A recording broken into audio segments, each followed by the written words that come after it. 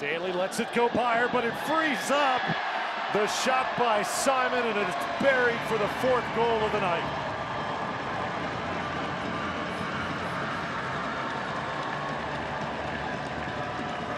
It is a party tonight in Houston as they continue to pour it on.